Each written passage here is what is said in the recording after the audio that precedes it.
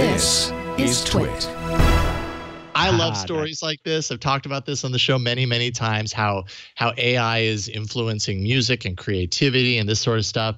Uh, Open AI researchers have devised a system called Jukebox that creates original uh, songs from scratch, and you know it's it's done in a similar way that to what we're used to. It's the same technology behind deep fakes. You know, it's really all all about training the algorithm with a large data set and then letting the algorithm go go wild and the, the system go wild and creating something based on that data set. It's an open uh, source algorithm. They trained this using 1.2 million music samples from real artists across all genres.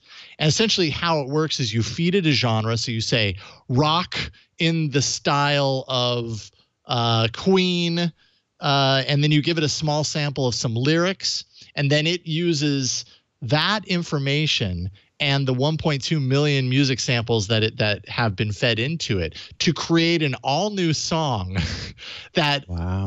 basically sounds like like it could be have been created by a human and we're talking drums uh, guitars keyboards lyrics vocals solos all this stuff the things that it's not very good at yet are certain musical structures. So, like the idea of like a repeating chorus, how a chorus happens, and then you go verse, and then it comes back to the chorus. Not quite there yet. Have to imagine they'll get there eventually. But John, um, I implore you to basically pick anything on this page and play the play the audio from it, because any one of these, you you listen to it, and it's not quite perfect. Like you're listening to it, it's kind of a little off, but it's crazy that a computer just kind of created this out of thin air uh, based on this algorithm. And I'm curious which one you're picking. Let's see here. Oh. Come on, get to it. This is Celine Dion.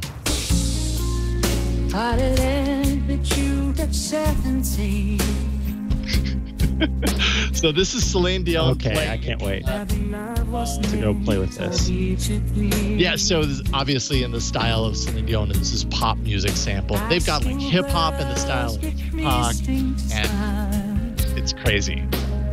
Oh my goodness, Celine, a, a Celine Dion song that she never sang or wrote. That's wild. Isn't that weird? Oh, that's, kind, really kind of blows your mind. So then we end up in this weird world of like, okay, so what happens then when a computer a computer algorithm creates a song that sounds so similar to a real artist that the artist decides, hey, I don't want that. I want to sue or get that removed or whatever. What are the rights and everything that come into Yeah. play in a legal battle when you're talking about that? Is this sampling? I don't know because it was created by a computer, but it was based on a training set that involved real music. I don't know. It's it's a weird world that we live in. Interesting. Yeah. That. yeah. I mean, who's uh, as because this reminds me of that. Now it's a little bit different, of course, but it reminds me of that. Uh, there was an ape that took a photo. Uh, I should say a primate that took a photo of itself with a camera. Yeah. And then that photo ended up going, you know, I think it was printed in a magazine, and the person who owned the photo, who owned the camera, said, you know, that photo's mine, essentially. But then there was an argument that the photo belonged to the ape, that belonged to the primate. Right. And of course, a primate is a living, breathing creature. But does this, there it is, there's the monkey selfie.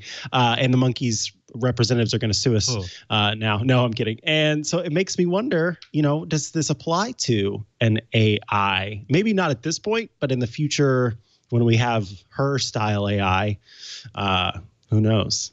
Ooh, I mean, I mean, imagine this technology being developed further for the next couple of years, and suddenly you create a song that sounds indecipherable from Celine Dion. Like literally, it's Celine Dion's voice.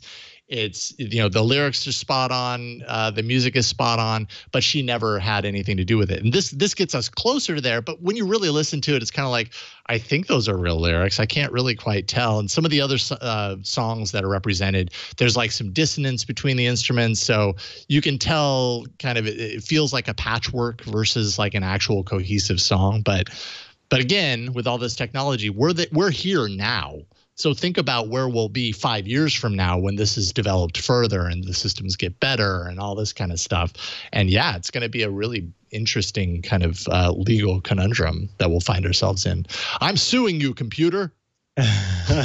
computer. I am suing you. I'm taking you Oh, to court, boy. computer. And who knows? Wow. Maybe maybe computers will be able to defend themselves in uh, in court. Probably. Yeah.